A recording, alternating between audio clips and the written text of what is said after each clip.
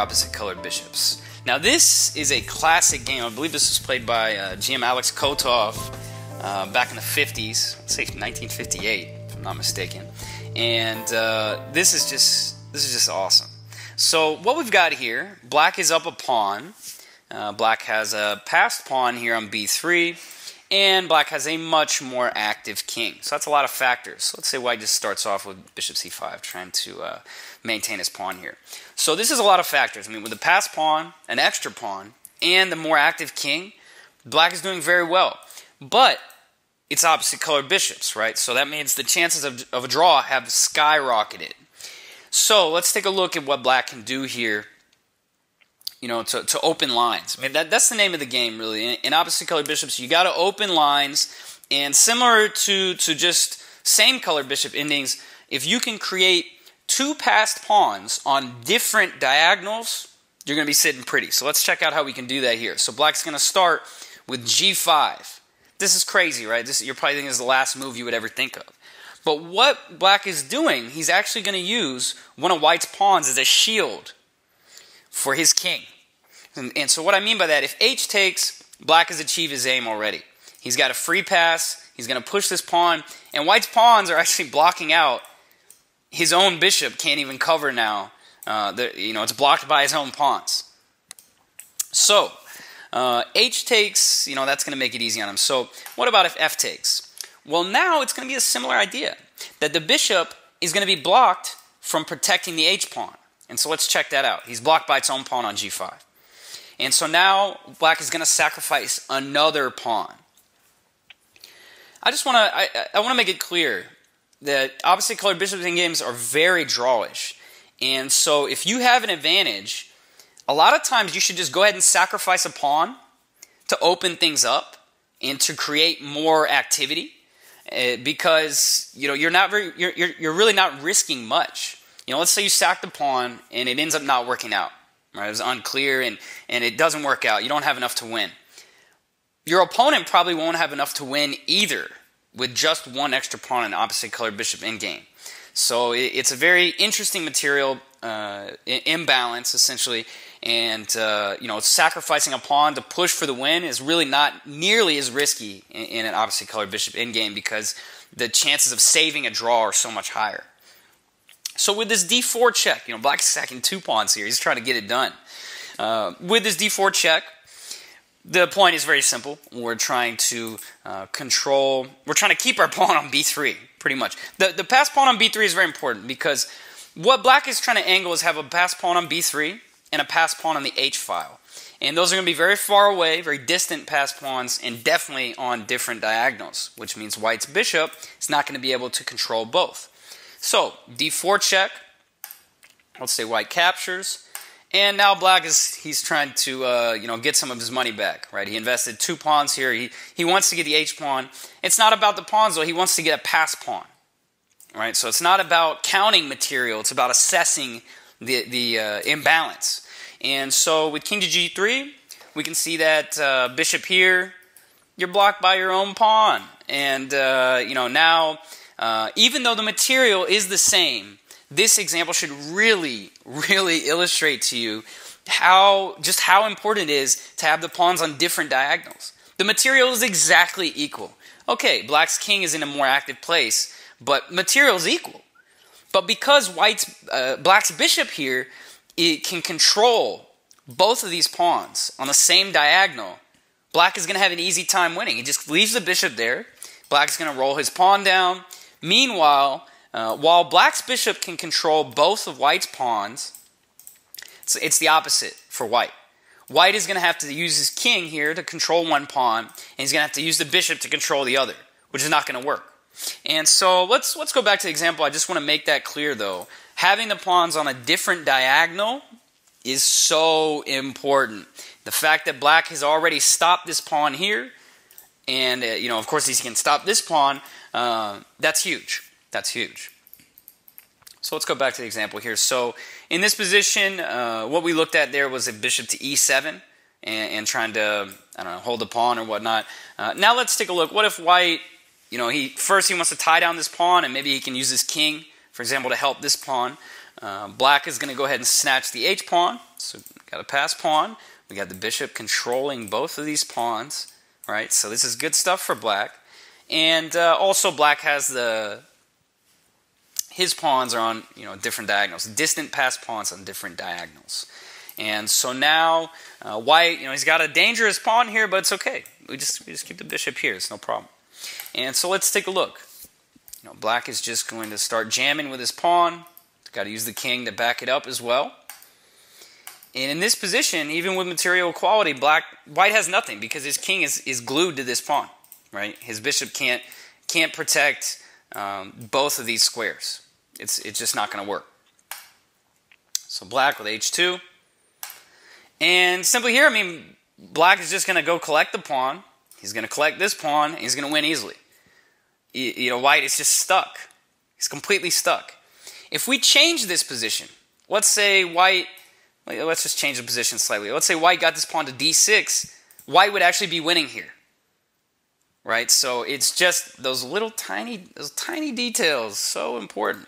If white got this pawn to d6, now the bishop is no longer able to control both pawns.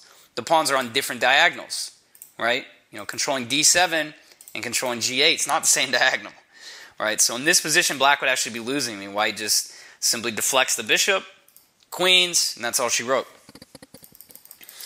So, uh, just to finish this example, after h2, you know, we can see with the bishop controlling the pawns on the same diagonal, black is just going to mop it up. The king, just go ahead and take the g7 pawn. Why not?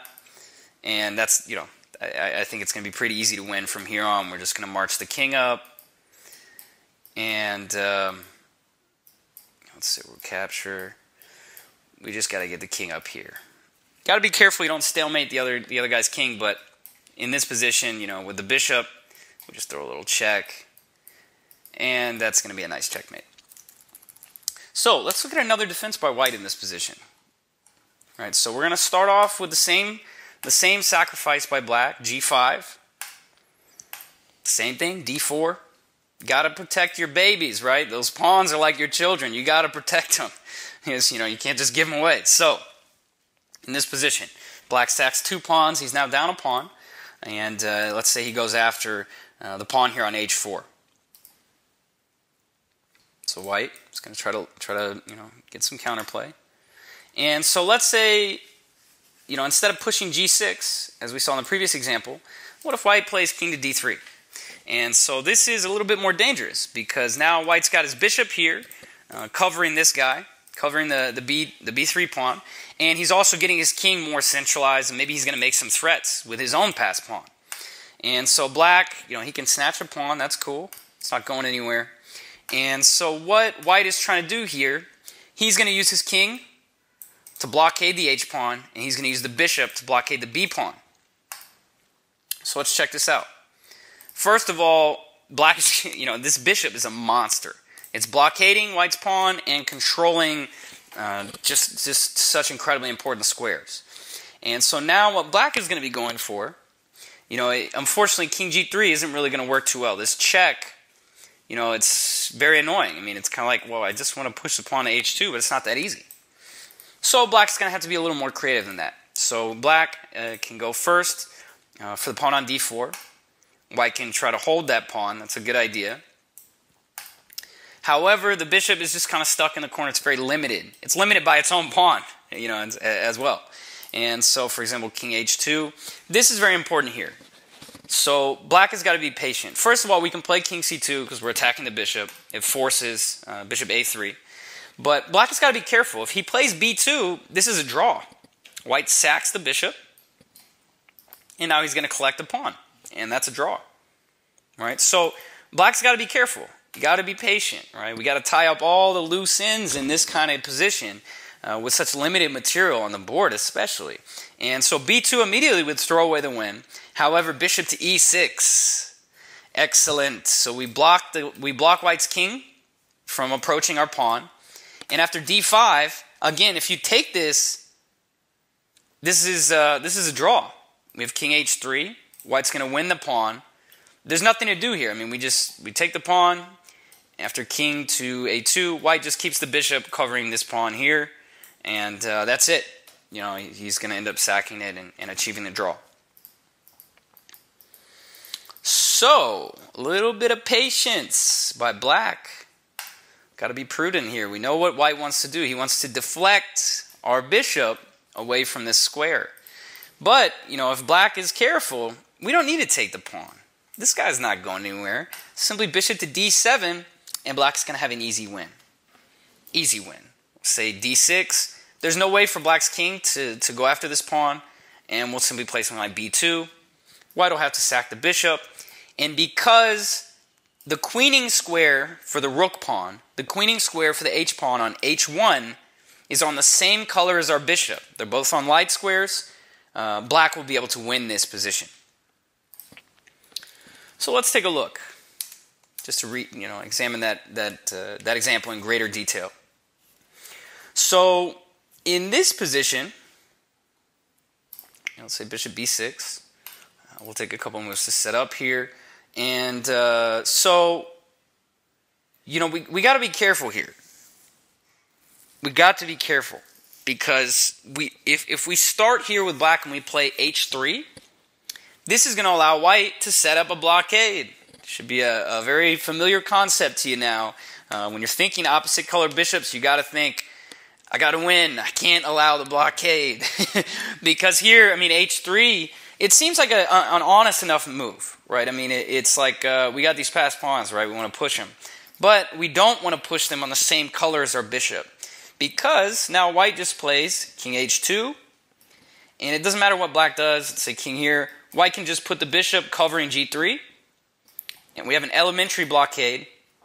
Even though black has connected pass pawns, got an extra pawn, all that stuff, it's an easy draw for white. I mean, all he has to do is just keep the bishop covering g3.